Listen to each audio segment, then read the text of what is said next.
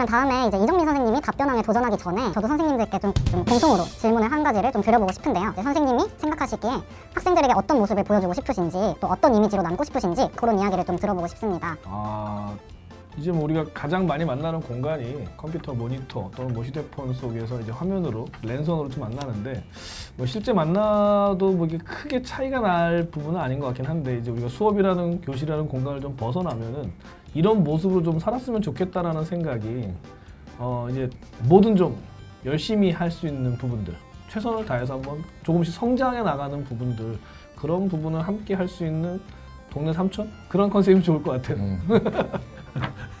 열심히 하는 동네 삼촌. 모든 열심히 하는 삼촌. 어, 그러면 현수 쌤은 혹시 학생들한테 좀 되게 친근한 이미지로 되게 많이 접근을 하시고 계시잖아요. 되게 이게 저는 친근한 게 아니고 카리스마라고 생각했는데 학생들이 친근하다고 느낀 것 같아요. 칼을 들어 그냥. 그래서 제 저는 그 중고등학교 때 라디오 많이 듣던 세대거든요. 제 채널 이름도 그 라디오 현스타라고 해서 그냥 이것저것 하는 어, 그런 채널도 있고 그래서 그냥 라디오의 매력이 내가 잠깐 안 들어도 다시 키면 또 항상 그 자리에 그 DJ가 있고 어, 그런 이미지가 좋아서 저는 항상 강의를 하고 있고 학생들은 언제든지 찾아오면 제가 있는 그런 편안한 어, 강사가 되고 싶습니다. 마지막으로 서영호 선생님은 혹시 학생들에게 어떤 이미지를 남기고 싶으신지 아, 저는 요즘 좀 고민하고 있는 게 호감형이었으면 좋겠어요. 호감이었으면 좋겠는데 제가 이제 그 국어 강사지만 사투리도 쓰고 이제 좀 발음이 좀 셉니다. 그래서 강사 생활하면서 옛날부터 또 학생들에게 현장 강의 학생들이든 아니면 인강이든 아니면 선생님들 사이에서도 발음이 좀 세다 보니까 어, 오해를 일으킨 경우가 좀 많았었거든요. 평생의 이상형과 사귀는 대신 모든 친구와 연 끊기 vs 모든 친구 그대로 있는 대신 평생 솔로로 지내기 현수 쌤 어떻게 생각하시나요? 저는 친구도 없고요. 지금 솔로라서 선택을 할 게 없어요. 그래서 그냥 친구 어차피 없으니까 평생 이상형 마- 만나는 게 나을 것 같아요. 친구를 잘라낸 건 아니에요? 아니요, 원래 없었어요. 그럼 이정민 선생님은 혹시 어떻게 생각하세요? 시간의 문제이지 않을까 싶어요.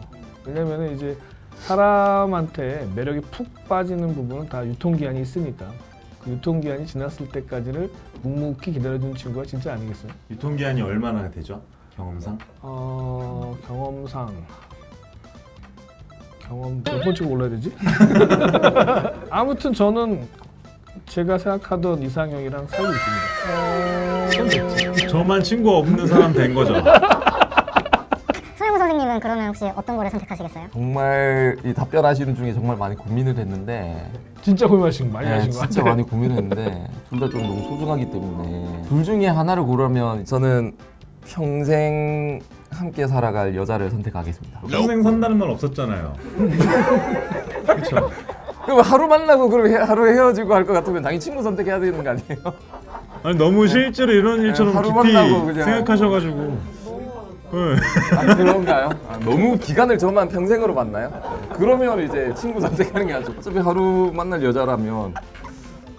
하루 만나는 얘기는 없었죠? 기간은 아닌가요? 하루 예, 하루- 하루도 아니에요? 이거 위험한 발언 아니에요? 자, 그래도 셋 중에선 내가 제일 잘생겼다. yes or no. 하나, 둘, 셋. yes. 다들 그렇게 생각하시는 그 이유가 있으실 것 같은데. 이유를 굳이 얘기해야 될까요? 비호감인가요? 네. 배가 말고 저기 지금 연애 쪽으로 가요. 아, 그러니까 더 비호감 만들었어. 아니지. 야, 이 현수 쌤. 네, 셋 중에서라면서요. 네네네. 네. 그래서 그래요? 그럼 이제 쌤이랑 저랑이잖아요. 네, 둘 중에서도. 이거는 학생들의 판단이 일단은 좀 수강생들 다 이제 이동하겠습니다. 근데 저는 그거 있는 것 같아요. 저는 얼굴 잘생긴 거랑 아니 얼굴 못생겼는데 좀 매력적인 거랑 둘 중에 하나 선택을 하라고 하면 저는 무조건 얼굴 좀 못생겨도 현수 쌤 보고 얘기한 거 아니에요? 어 이거 큰일이다 큰일이다. 좀 얘기 너무 빤히 쳐다보셔가지고 아니, 아까 하룻밤 만난다고 했을 때도 제가 알아봤었어요. 아니 아니 아니 아니 아니 편지 편지 편지 그러면 매력을 보시면 약간 매력도 다양한 매력 있잖아요. 어떤 매력을 주로? 좀 따뜻함? 딱 둘이 딱 있었을 때 아무 말도 없이 딱 가만히 있는데 별로 안 불편한 사람. 좀 편한 사람 있잖아요. 무슨 말 해야 되지 무슨 말 걸어야 되지 무슨 말 할까? 이런 고민 없이 딱 만났는데 그냥 차 안에만 가만히 있어도 그냥 편한 거. 지금 여자란 기준으로 얘기 없었지 않았어요? 여자의 매력에 대해서 이야기하는 건 없었는데? 그 남자라면 당연한 거고 남자 이렇게 만났을 때 이렇게 당연히 변하죠 남자. 뭐 갑자기 미래에 대해서 막 생각하면서 막 이렇게 하시길래 좀 깜짝 놀랐어요. time attack 답변 왕. 자, 그러면 자 이정민 선생님 시작. 자, 키 40cm, 키 4m. 키 4m, 김 빠진 탄산음료, 녹은 아이스크림. 김 빠진 탄산, 외국인과 한국어로 대화하기, 한국인과 외국어로 대화하기. 외국인과 한국어 대화하기. 그냥 1억 받기, 10억 받고 재입대하기. 그냥 그냥 1억 춤 1시간 동안 추기, 노래 1시간 동안 부르기. 노래 1시간 동안 부르기. 고등어 100마리 잡기, 고등 어법 100만 개 외우기.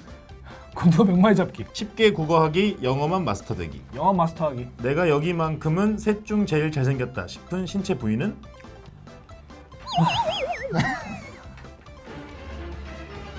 입? 네 알겠습니다. 반응 왜 이래? 너무 섹시하신 것 같아요 입이. 어, 입을 보셨어요? 네, 입 금방 봤어요. 아, 나도. 처음 봤거든요. 네. 아니, 질문을 딱 바꾸서 순간적으로 순간적으로 눈을 하려고 그랬는데 아까 이렇게 옆에 봤을 때 이길 수가 없어. 네? 저도요? 아니, 여기 서영훈 쌤. 이호감돼요 저. 아니 아니 서영 나는 이게 어렸을 때부터 이 눈이 작다. 라는 얘기 많이 듣고 뭐 흔히 뭐 이제 학창 시절에 뭐 해서 눈이 뭐 이렇게 뭐 새우젓 같냐 뭐 그런 식으로 하는데 눈 큰 사람들이 부럽더라고. 그래서 이제 아까 매력 거꾸로 이제 뭐 이제 했을 때 순간 딱 0.3초간 눈이 떠올랐는데 서영호 쌤 눈이 오버랩 되면서 아 그럼 알고 그럼 다음 거 다음 걸로 이제 입 입으로 입 한번 줌 해주세요. 안 뽑는 삽니다. 그리고 이정민 선생님 아까 답변해 주신 것 중에 이제 외국인과 한국어로 대화하기 그리고 한국인과 외국어로 대화하기 여기서 답변을 주셨는데 이제 외국인과 한국이 한국어로 대화하기 이렇게 답변 주셨어요. 혹시 경험이 있으신 건지 길 가다가 이제 외국인들한테 이제 그런 경우 있잖아요. 옛날에 광고 나오면은 어디 뭐 시끄러운 포장마차에 갔는데 막 엄청 또 시끄러운데 외국인이 싹 들어오니까 조용해지고 그다음에 길 가고 있는데 외국인이 뭐 나한테 길을 물어보는 것처럼 다가올 때 도망가거나 피하거나 하는 부분들 그러면은 당당하게 얘기하라는 거죠. 왜냐면 우리가 거꾸로 외국에 나갈 때 뭐 영어는 세계 공용어니까 어디 가서 이제 뭐뭐 여기 어디 있습니까? 공항이 어디입니까? 아니면 뭐 가까운 뭐 식당 뭐 어디 물어보자는 건 다 영어 연습하고 가잖아. 어, 여- 기본 생활 영어로. 연습해도 잘 안 나오죠 잘. 아 근데 이제 중요한 거는 한국에 오는 외국인들도 기본 생활 한국어 정도는 배워야 한다는 거지. 안녕하십니까?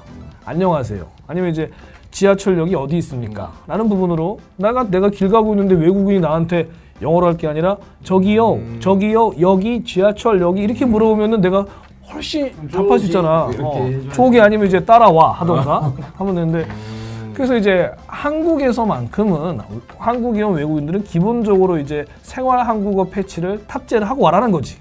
자부심을 가지고. 그러면 선생님들 혹시 좀 약간 강의 들어오시기 전에 전투력 충전하는 그럴 때 좀 듣는 음악이 좀 있으실 것 같은데 취향에 맞는 노래를 집중적으로 듣는. 노래도 엄청 잘하세요.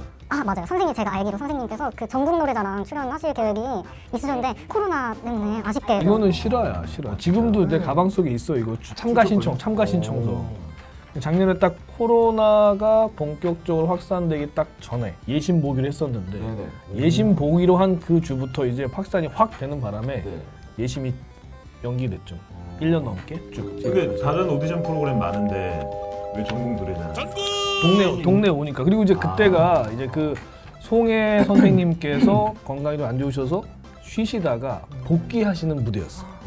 나름대로 의미가 있었고 또 이제 딴 게 아니라 그게 본방이 본방이 되면 3월 첫 주였거든. 그래서 아이들한테 겨울방학 힘들게 잘 했으니까 오는 선물로서 하나 해주고 싶었는데 그게 코로나 때문에 슉다 연기된 상황. 요즘 학생들이 전국 노래자랑 알고 있나요? 아 그런 걸 고르신 거예요? 순간 볼빨개 선택하는 사람이 어딨어요?